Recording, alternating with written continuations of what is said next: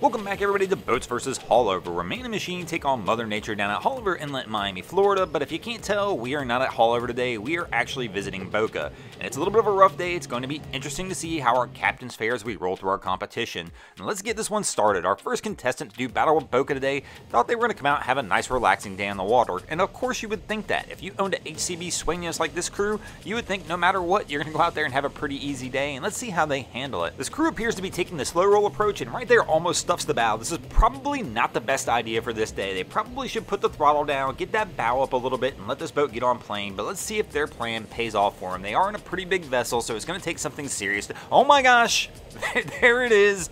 Boca annihilates this Sueños right up front.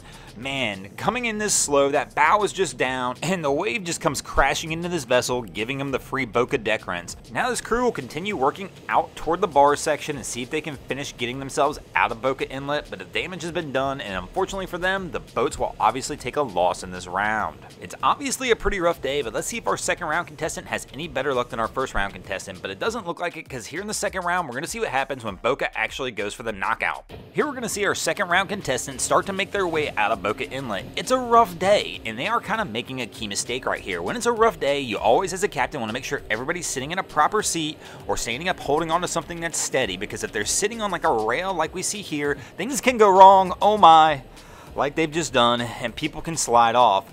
Fortunately, she slid off into the boat, but unfortunately, she slid off into the tower, and she's to feel that one for a few days. She's also likely to feel the way she landed on the gunnel as well. This is a very rough start to a fishing trip, and I hate it for this crew, but she's standing up, she's trying to hold on here, but she's to wind up going down for the count. She's in obvious pain, and I got to imagine this crew's not to have any choice but to turn this one around and come back in. I mean, that is just a tough start. I absolutely feel horrible for her. I mean, this one right here, you just go out, you think you're going to have a great day on the water. We're going to go out of Boca, we're going to go have a little fun. And then all of a sudden, it just turns into something like this. Let me know in the comments below what your thoughts on this situation are and how you would have done things differently as a captain. I mean, this is one of my actual annoyances as a captain is when it's really rough out and I get people who start trying to walk around my vessel. That one, I mean, because you just when it's rough out, you're already trying to concentrate on the water, and you can't concentrate on what other people are doing in the vessel as well. But um, but actually, I, I still feel I hate to say this. This one's captain's fault. Captain should not have let her be sitting there. He, it's your job as the captain to direct people where you want them to be, and Unfortunately, he failed, and unfortunately, the boats are going to take a loss in this round. And the boats go down 2 nothing early, and let's see if our third round contestant hopefully can get the boats back in the game. And here we're going to see about as good as it gets. I mean, it's a rough day here at Boca. All the boats are struggling. This Intrepid's coming out of the inlet. They're coming out a little bit slow, but they've got it just going fast enough to get that bow pointed up in the air and hopefully keep them from stuffing the bow. I mean, this is a pretty big boat. They are taking a pounding as they try and run through the bar section, but overall, they look pretty good, and it looks like they're probably going to make it out and be one of our first boats to make it out successfully today, and that's going to give them a win for the boats here in this round. And that'll take us into our fourth round, and we'll play one of my favorite games, Can She Hang On? Here we're going to see this vessel running out, and for whatever reason to me, this just does not look like a good idea on a day like today.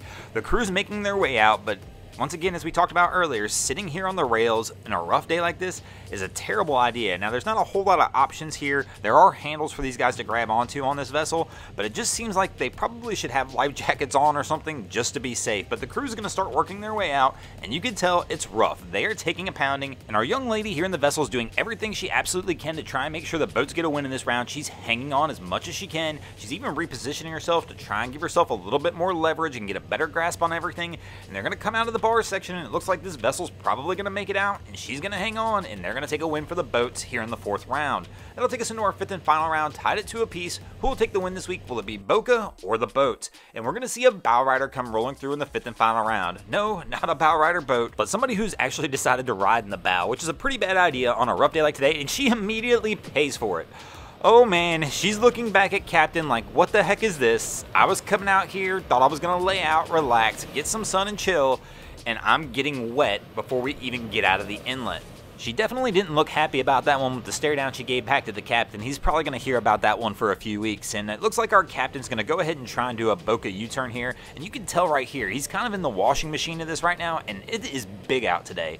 These waves are pretty good size, and everybody's been struggling, and my man's going to get that U-turn pulled off and start heading back into the inlet, but man, he caught it close to the rocks on that U-turn as well. That was a pretty dangerous U-turn, but they're going to make it, and they'll start making their way back into Lake Boca, where it'll be a little bit calmer, and they can enjoy that nice relaxing day out on the water.